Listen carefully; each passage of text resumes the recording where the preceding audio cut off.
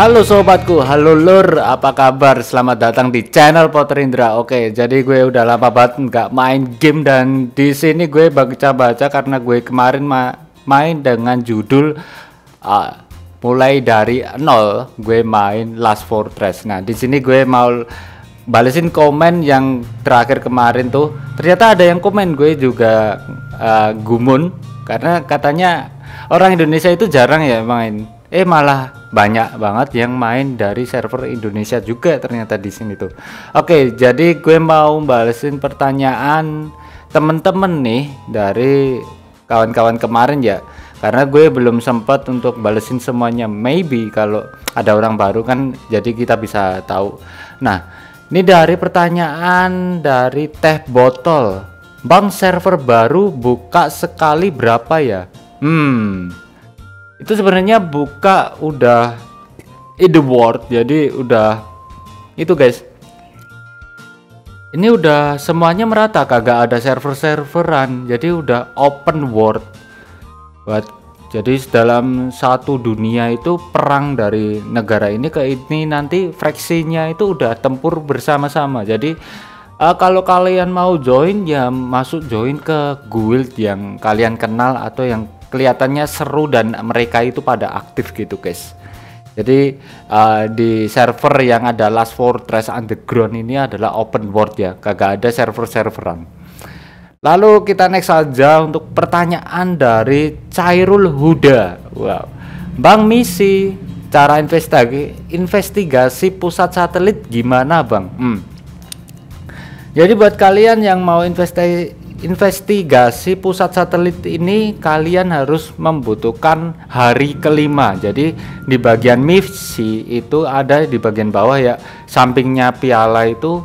Kalian selesaikan misinya dulu entah itu yang paling sulit itu mungkin kalau pertanyaanku adalah 65% emot alias uh, tanda love dari orang-orang yang ada di tempat kalian ya itu sampai 65% lalu bakalan terjadi uh, perpindahan hari di mana hari kelima.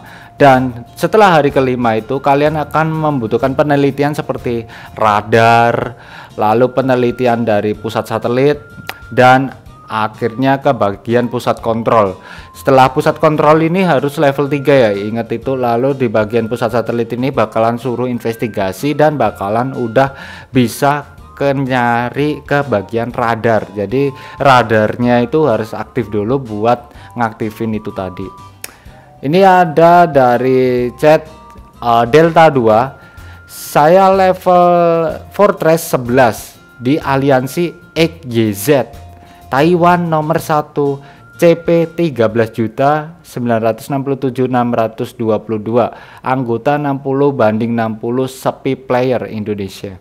Ya seperti itulah orang Indonesia banyak yang sepi ya. Mungkin juga yang upload tentang game Last Fortress ini juga sedikit nih guys. Ya aku kurang tahu juga karena gamenya kan open world dan uh, battle survival ya. Jadi ya udah kayak biasa. Event jarang keluar namun cara-caranya tutorial jarang ada yang ngerjain. Ya tahunya cuman gameplay aja gameplay perang-perangan seperti itu. Lalu aliansi untuk kita perang bareng gitu ngajak orang bareng seperti itu. Oke kita next ke pertanyaan berikutnya lain. Kalau kalian mau join ke Last Fortressnya Delta 2 ini juga bisa itu guys. Kita langsung aja cari ke lainnya. Ini ada pertanyaan dari uh, Davin Favian Bang cara dapetin gandum gimana ya di Last on Fortress? Nah di Last on Fortress ini kalau nggak salah itu kalian membutuhkan level 8 untuk pusat kontrolnya. Jadi di bagian pusat kontrolnya itu level 8 kalau nggak salah itu. Level 8 atau level 5 ya nanti kalian butuh ke bagian laboratorium. Nah di laboratorium itu kalian tinggikan dulu guys. Uh, kalian maksimalin dulu untuk bagian uh, gandum atau tempat feud makanan-makanan itu ya. Nanti kalian geser ke kanan kalau kalian mau aktifin bagian gandum atau bagian labu itu kalian ketik yang mana.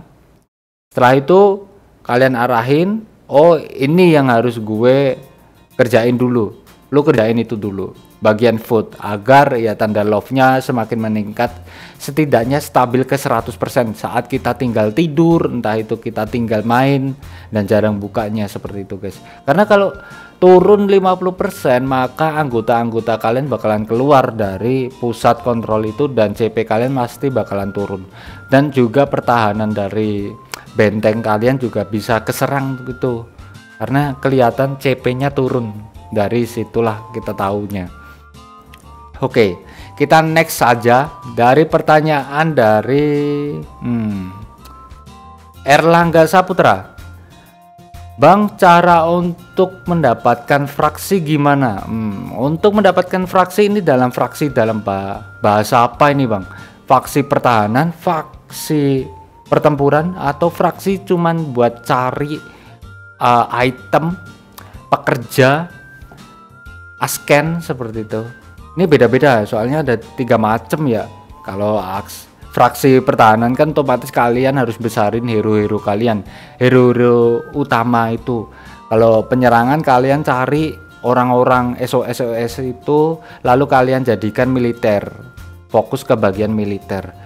Atau di bagian fraksi pekerja kalian gacha aja untuk gacha yang bagian uh, prakerja-prakerja itu. Jadi anak buah hero-hero kalian yang khusus untuk bekerja itu kalian gacain di situ. Nanti agar ya kalau semua penelitian itu kalian kasih satu pekerja satu buat ke depannya itu bagus untuk benteng kalian sendiri guys. Oke kita next ke pertanyaan berikutnya lagi. Uh, dari Yato Seki Bang mau nanya hero-hero yang OP di Last Fortress apa aja ya? Combat power hero nya juga di level 1 kasih tahu dong bang. Aduh. Anjir kalau ini susah gitu. Uh, gua sendiri lupa namanya. Uh, mungkin next gue bakalan ngasih tahu. Uh, jadi uh, yang depan itu siapa ya? Cowoknya itu agak gemuk dan juga bawa bogem bukan bogem apa ya? Tiang lah kayak gitu. Itu defense-nya keren banget jadi keras banget untuk melawan si uh, zombie yang yang besar itu dia kuat kuat dalam dua ultimate tuh masih kuat. Dan untuk yang pertama itu karakter utama alias shotgun itu ya cewek itu kasih belakang backup untuk yang belakang. Uh, yang lainnya gue lupa namanya mungkin gue bakal next untuk gacha-gachain terus agar dapat karakter seperti gua dulu ya. Hmm, oke, okay. kita lanjut aja untuk pertanyaan lanjut. Kita klik dulu bentar. Oke, di sini ada pertanyaan lagi dari Aditya Wisnu Putra Nugraha. Kalau mau cepet nambah powernya, mending ke fokus ke mana dulu bang? Kalau awal-awal. Nah, untuk awal-awal sendiri sih nggak usah terlalu fokus ke bagian power ya. Soalnya semakin tinggi lu punya power, namun bahan makanan kalian sedikit, otomatis persenan love kalian juga turun. Jadi lebih baik mending kalau gua saranin lu tabung aja tiap hari uh, cari makanan yang banyak. Setelah itu kalau udah full komplit satu persatu merata sampai ya love kalian stabil lah 70 ke atas. Bahkan kalau bagus 80% ke atas ya love dari smile itu. Itu kalian bisa untuk cari power dengan cara SOS uh, rekrut orang baru orang baru itu tadi. Dan usahakan kalau udah mau fortress itu kalau mau punya ladang ya kalian harus punya ladang dulu ladang padi ladang herbal, ladang hewan, kopur apa atau apa itu tikus gede itu loh. Lah seperti itu kalian harus butuhin itu dulu sebelum mencapai ke titik bagian fokus ke bagian power ya. Itu agak lama guys. Gue sendiri aja dulu pas mainnya santai itu dua minggu kayaknya. Dua minggu free to play ya, dua mingguan baru bisa fokus ke bagian power. Kalau gua ngerjain SOS dulu wah kacau yang ada online mulu itu gamenya. Soalnya ya bahan makannya nggak ada manusianya banyak susah gitu. Lalu yang terakhir ada pertanyaan dari skondok.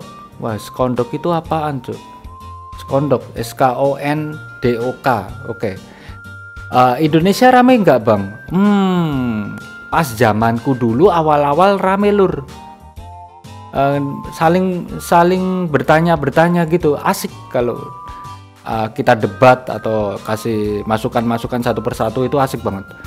Kalau dulu loh, cuman kalau sekarang kurang tahu. Cuman modelannya itu Indonesia juga telat guys. Gamenya rilisnya kapan, mainnya kapan, jadi telat pada mainnya. Jadi seru kalau kalian mau nyoba gasin sekarang buat open world, sistem open world, battle survival, defensif seperti bercocok tanam. Oke, mantap. Oke lah guys mungkin segitu aja dari pertanyaan dari teman-teman dari gua buat video live kemarin dan untuk nextnya gue bakalan upload uh, dari pertanyaan-tanyaan satu persatu teman-teman ya karena di akun gua sendiri kan parah banget tuh. Masih new player banget. Nggak bisa pak seperti dulu waktu dulu ngerjain garapan ini. Jadi ya hmm sorry banget kita mulai dari nol.